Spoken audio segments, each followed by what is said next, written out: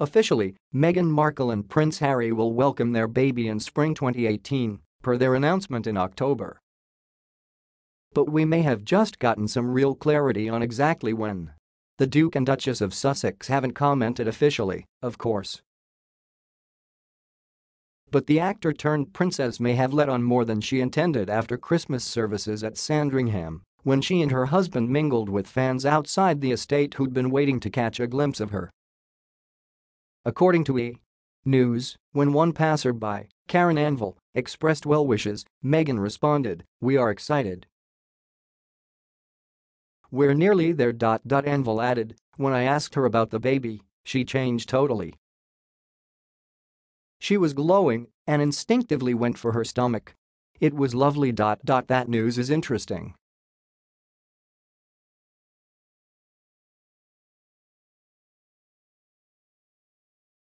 No complaints, of course.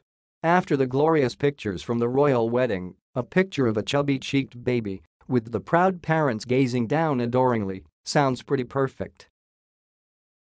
The speculation and Royal Baby Watch officially begins now. According to an exclusive in the Daily Mail, Meghan attended the Boxing Day royal festivities with Harry, Prince William, and Kate Middleton, as well as other members of the royal family.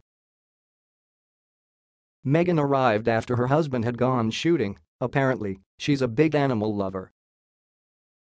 Apparently there's been a royal bug going around too, which probably accounted for Prince Philip and Camilla Parker Bowles being missing during the Christmas mass celebrations, but that didn't stop the 92 years young queen and her family from doing traditional Boxing Day activities. This is Meghan's first Boxing Day as a married woman and the last she and Prince Harry will spend as a family of two.